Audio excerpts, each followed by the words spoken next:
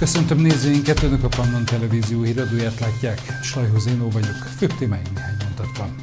Dohány, luxusautó, pénz, 50 milliós illegális üzletet számoltak fel a pénzügyőrök keresőkutyájukkal. Belvárosi terek, parkok megújítása, nyáron sem pihennek a terület képviselői. Káplár László jó emberdíj átadó, a Pécsváradi várban tartották az eseményt. Püspökvári zenés esték Pécsen szabadtéri koncertek a Filharmonia szervezésében. Hadley a Nemzeti Adó és Vámhivatal szolgálati kutyája is aktív részese volt a napokban annak a tettenérésnek, mely során egy komplett csempész csapaton ütöttek rajta a nyomozók baranyában. A szállító, a megrendelő díler és egy potenciális vevő is jelen volt a szállítmány kipakolásánál, amikor meglepték őket a pénzügyőrök. A garázs kinyitásakor a nyomozók is meglepődtek az ott talált luxusjármű láttán. Egy Baranya megyében található kis községben csaptak le a NAV dél-dunántúli nyomozói a családja által is tevékenyen támogatott dohánydillerre. A szállító, a megrendelő, aki egyben a dohánydíler is volt, és egy potenciális vevő is jelen volt a szállítmány kipakolásánál. A nyomozók akkor ütöttek rajtuk egy Baranya vármegyei kis községben, amikor már félig szétcsavarozták azt a platós teherautót, amelynek a hátán a rejtek helyet kialakították. A nyomozás adatai szerint a megrendelő férfi nagy mennyiségben szerzett be egy úgymond saját szállítótól dohánytermékeket, amelyek adózás alól elvont magyar adójegy nélküli dohánytermékek voltak, és ezeket a termékeket saját lakcímén tárolta. Kiterjedt vevőköre részére jelentős haszonnal értékesítette a termékeket. Nem kispályás bűnözőről van szó, jelentős mennyiségű dohány került elő a házkutatáskor. Keresőkutya segített a pénzügyőröknek, tudtuk meg a sajtóreferenstől. Az akció során mintegy 22 ezer doboz különböző márkájú cigaretta és összesen 145 kg vágott dohány került elő. Ezek értéke, valamint a lefoglalt luxusjármű, az elkövetés eszközéül szolgáló tehergépjármű és a potenciális vevőjelöltnél talált pénzösszeg gyakorlatilag kiegyenlíti az elkövetési értéket, amely mintegy 50 millió forint. Élettársával élt együtt a díler a szomszédban a 87 éves édesanyja lakott. Nem volt olyan helyiség, ahol ne találtak volna adózás alól elvont terméket a nyomozók. Az éléskamra befőtt helyett cigarettával és dohányjal volt plafonig feltöltve. A keresőkutya Harley orra elől a fürdőszobai szennyes kosárban és egy ruhásszekrény mélyen sem maradt rejtve a füstölni való. Az ingatlanok közös udvarában található garázsban ért a nyomozókat a legnagyobb meglepetés, ahol Harley nagyon ügyesen kiszagolta az elhelyezett, fekete, vastag zsákokba csomagolt és szivacsokkal elrejtett vágott dohányt, viszont ott a nyomozó egy komoly értékű luxusjárművet is találtak, egy Mercedes AMG típusú GT53-as autót.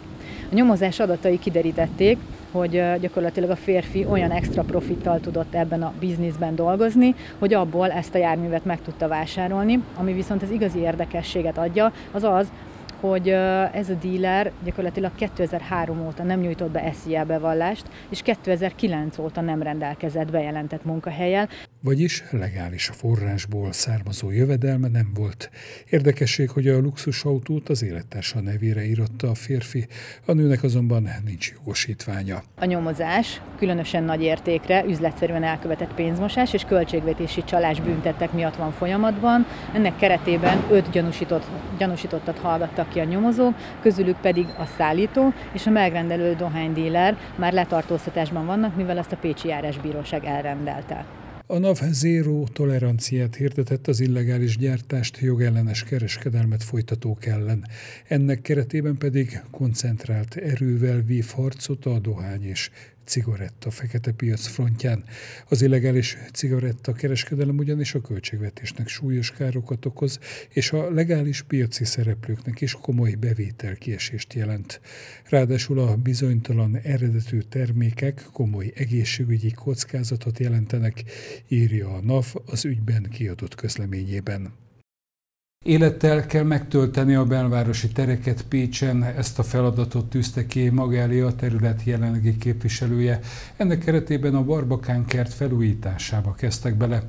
A politikus elképzelését követi utódja, aki már képviselői beiktatása előtt a Pécsi belvárosért kezdett dolgozni. Munkagépek, munkások a Pécsi Barbakán kertben ezt a területet akarja népszerűbbé, fontosabbá tenni a belváros mostani és a jövőbeni képviselője. Kővári János azt mondja, sok elképzelés volt a Barbakán hasznosítására, de ezek nem valósultak meg. A Barbakánban például a hátsó részben szerettek volna kutyafuttatót, szerettek volna játszóteret, én ezeket mind előkészítettem és benyújtottam, és Péterték nem engedték, hogy megvalósítsuk Egyetlen egy dolgot sikerült itt elérni a Barbakánba, amiben nem tudtak beleszólni, csak a választás utára időzítették, hogy a Barbakánnak a felújításához a képviselői keretemből adtam pénzt, és vittük végig ezt a folyamatot három éven keresztül a műemlékvédelemmel, hogy mit lehet csinálni. A politikus képviselői keretéből 12 millió forintot költ a népszerű park rendbetételére. A járdát és a kerítést teszik rendbe most. Küvári János azt mondja, annak idején programjában fontos szerepet kapott a belvárosi terek újbóli felfedezése. Öt évvel ezelőtt, amikor a belvárosnak a képviselőjének választottak, akkor azt a szlogent adtam én a kampányomban, a brossúrában is, hogy a belvárost élettel szeretném megtölteni. Már akkor el is kezdtem ezt a folyamatot azzal, hogy a lepukkant, lerobbant, kiüresedett tereknek megpróbáltam új funkciót találni a helyiek bevonásával. Ezt a munkát veszi át októbertől Marsalkó Péter. Az elsődleges vágyam mindig az volt, hogy a Pécs városnak a központiságát átvinni egy olyan fajta területé, ahol lehet szabadidőparkot csinálni, ahol a gyerekek játszhatnak, ahol kiállítást lehet rendezni, ahol a képzőművészet és gyakorlatilag a fotóművészetnek lenne egy nagyon nagy tere. A másik része pedig az, hogy ennek a kertnek megadni a kulturális varázsát. Tehát szeretném ide behozni azokat a fajta pécsi otthon, vagy titokban, vagy, vagy zeneiskolákban, eh, művészeti eh, gimnáziumban levő művészeknek adnék itt teret. Tehát elsődlegesen a fiataloknak a felfedezését és a fiataloknak az elindításának a terét szeretném itt elképzelni. A képviselők azt mondták, hogy nem vártak őszig, amíg leteszi az esküt az új összetételű Pécsi közgyűlés, hanem már most megkezdték a munkát. A Barbakán teljes megújítására 3-400 millió forint kellene, hogy az itt élők kéréseit megvalósíthassák. A politikusok szerint a képviselői többségük erre lehetőséget biztosíthat októbertől. Rövid híreink következnek. A várható nagy meleg miatt szerda reggel 8 órától életbe lépett az úgynevezett vörös kód, ami kötelezővé teszi valamennyi szociális intézmény számára a hajléktalan vagy bajba jutott emberek befogadását, jelentette be a belügyminisztérium gondoskodás politikáit felelős államtitkára. Fülöp Attila közölte, a péntek 20 óráig tartó speciális eljárásrend fokozatosan lép életbe, baranyára csütörtöktől érvényes. Fülöp Attila kitért arra, hogy az eljárásrend a szociális intézményekre vonatkozó intézkedéseken túl figyelmeztetést jelent a társadalom számára is. Ha valaki az utcán bajba került hajléktalan embert lát, jelezze azt a regionális diszpécser szolgálaton keresztül, kérte az államtitkár. A hajléktalan ellátó rendszerben